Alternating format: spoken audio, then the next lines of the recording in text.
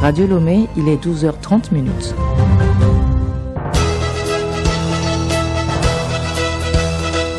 Le journal Juliette Camdet. Bonjour à tous et bienvenue dans le journal, édition de 12h30. Les chrétiens catholiques célèbrent aujourd'hui l'Assomption. Cette fête commémore la mort, la résurrection, l'entrée au ciel et le couronnement de la bienheureuse Vierge Marie. Au Tchad, 70 membres du comité d'organisation du dialogue inclusif ont été nommés hier. Ce dialogue, qui permettra l'organisation d'élections présidentielles et législatives, doit avoir lieu dans les prochains mois. La terre a encore tremblé en Haïti. Un séisme de magnitude 7,2 a secoué la région. Bilan 304 morts et 100 et 1800 blessés. Les sauveteurs cherchent encore des survivants dans les décombres.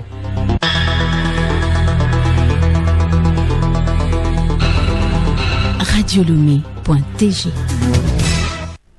Aujourd'hui, 15 août, les chrétiens catholiques célèbrent la montée de la Vierge Marie au ciel, l'Assomption de Marie, qui est appelée dormition dans la tradition orientale, est la croyance chrétienne selon laquelle la Vierge Marie, mère de Jésus, est entrée directement dans la gloire de Dieu, autrement dit, élevée au ciel, au terme de sa vie terrestre.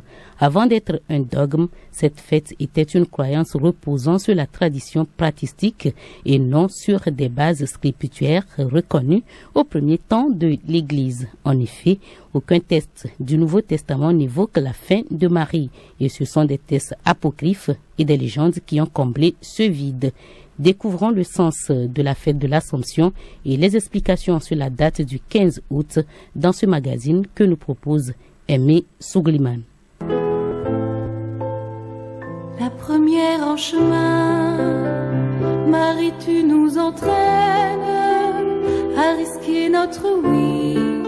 Dormition et élévation de la Vierge Marie au ciel. Voilà pourquoi il faut fêter le 15 août selon les croyances catholiques. Père Jonathan Chabot, chevalier à la congrégation des chevaliers de Kogangomé. C'est le 1er novembre 1950 que le vénérable pape Pie XII a proclamé le dogme de la Vierge Marie montée en coriandre au ciel. Mais la tradition le disait depuis longtemps. Le pape a interrogé tous les chrétiens du monde par les évêques.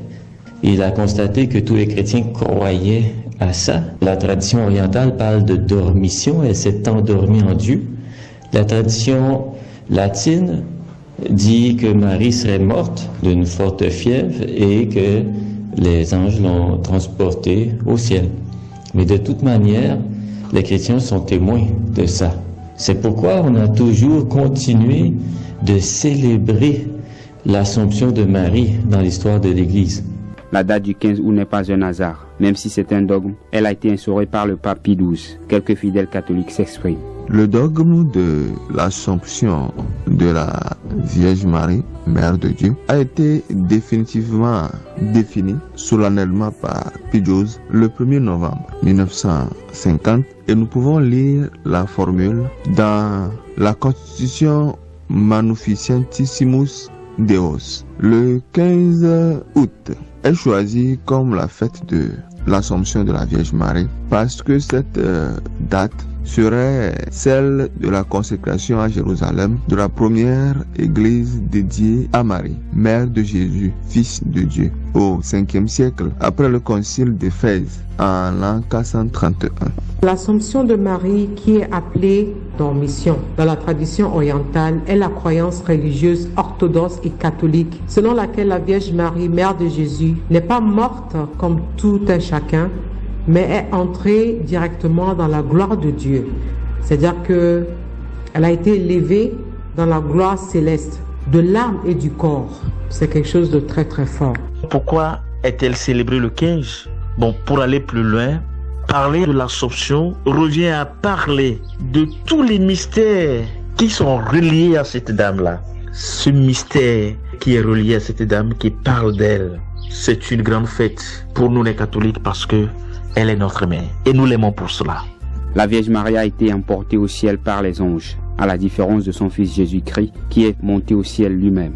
D'où la différence entre l'Assomption et l'Ascension. Père Jonathan Chabot. Marie a suivi de près les événements salvifiques de la vie de Jésus. Elle est montée au ciel. Comme le Christ a eu son ascension au ciel, Marie aussi fut emportée au ciel. La seule différence, c'est que le Christ est monté par sa propre force, sa propre puissance au ciel, l'ascension, tandis que la Vierge Marie fut emportée au ciel. La tradition parle des anges qui ont transporté au ciel. Bonne célébration à tous les catholiques dans le respect des mesures barrières.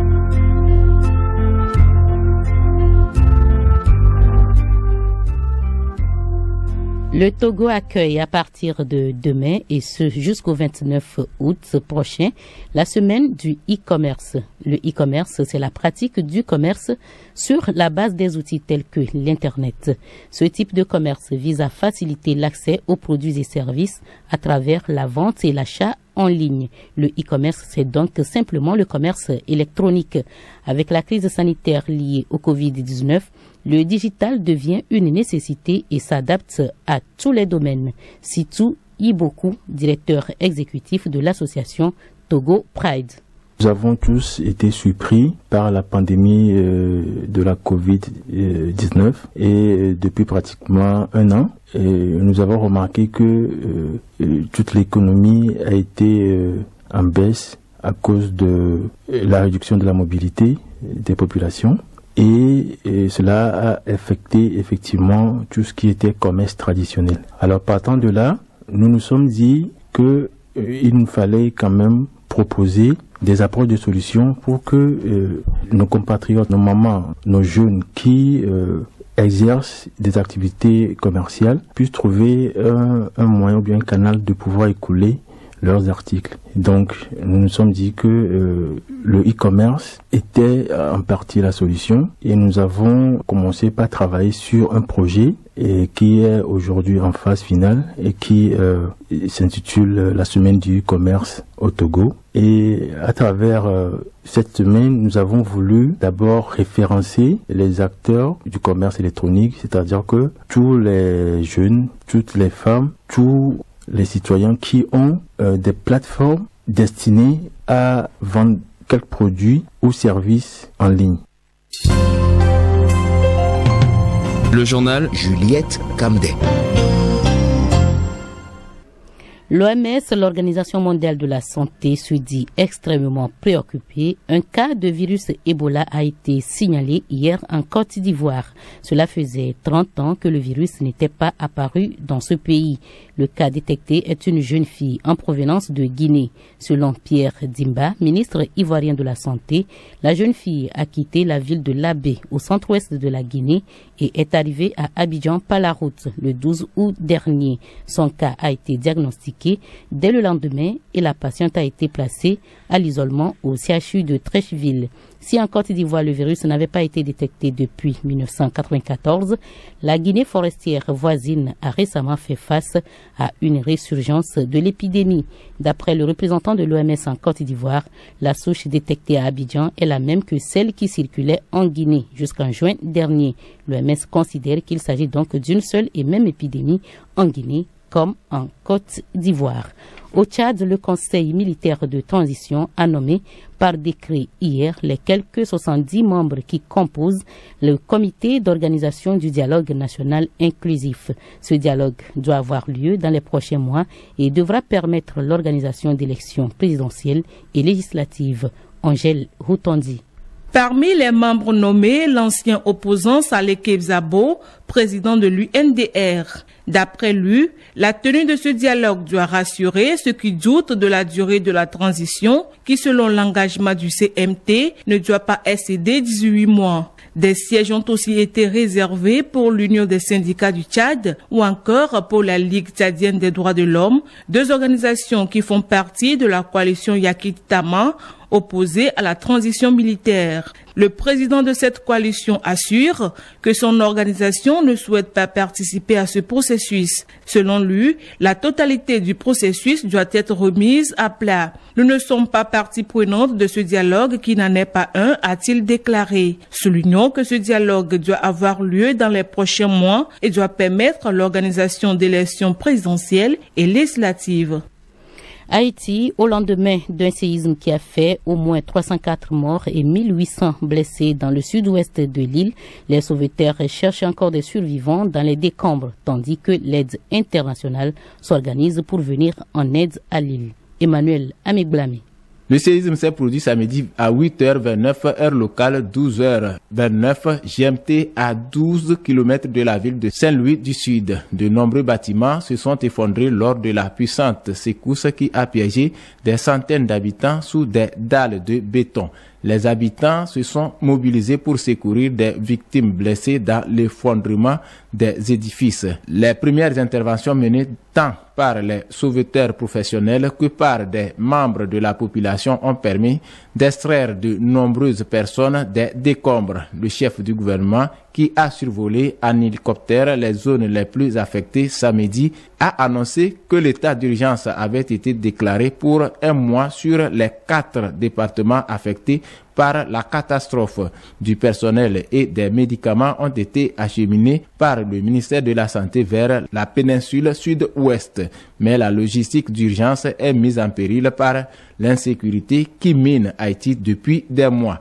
Le président américain Joe Biden a offert samedi l'assistance immédiate des États-Unis. Il a chargé la directrice de l'agence américaine d'aide internationale USAID, Samantha Powers, de coordonner cet effort. La République dominicaine, voisine de Haïti sur la même île, a annoncé l'envoi de 10 000 rations d'urgence et des équipements médicaux. Le Mexique, le Pérou, l'Argentine, le Chili et le Venezuela ont également proposé leur aide, tout comme l'Équateur qui dépêche une équipe de 34 sapeurs-pompiers pour participer aux recherches. Le premier ministre espagnol Pedro Sánchez a assuré les Haïtiens qu'ils pouvaient compter sur l'aide de l'Espagne. Emmanuel, en Afghanistan, les talibans sont désormais aux portes de Kaboul, la capitale. Ils ont toutefois reçu l'ordre de rester aux limites de la capitale afghane. Les talibans se rapprochent donc de la prise complète du pouvoir après une campagne militaire euh, d'une rapidité stupéfiante. Selon plusieurs ressources, des négociations sont actuellement en cours vers un transfert pacifique de pouvoir. Dans la capitale, différents témoignages sur place font état d'un fort sentiment de panique. De nombreuses rues de Kaboul était encombré de voitures et de personnes essayant de rentrer chez elles ou de rejoindre l'aéroport, ont rapporté donc des habitants. De leur côté, de nombreuses puissances occidentales continuent l'évacuation de leurs ressortissants. Les hélicoptères américains continuent ainsi leur rotation incessante entre l'aéroport et l'ambassade. Londres a parallèlement annoncé le redéploiement de 600 militaires pour aider les ressortissants britanniques à partir. En revanche, la Russie ne prévoit pas d'évacuer son ambassade à Kaboul. Le pays faisait partie des pays ayant reçu des garanties de la part des talibans quant à la sécurité de leurs diplomates.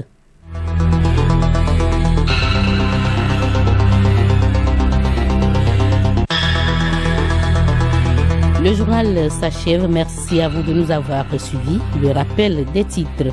Les chrétiens catholiques célèbrent aujourd'hui l'Assomption. Cette fête commémore la mort, la résurrection, l'entrée au ciel et le couronnement de la bienheureuse Vierge Marie.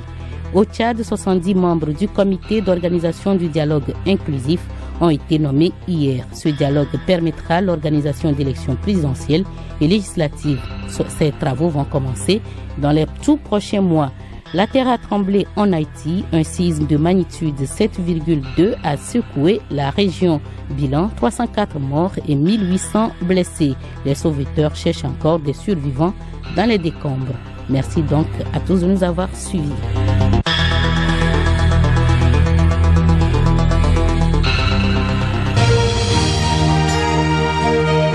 Radio Lomé, boîte postale 434, email radiolomé.tg.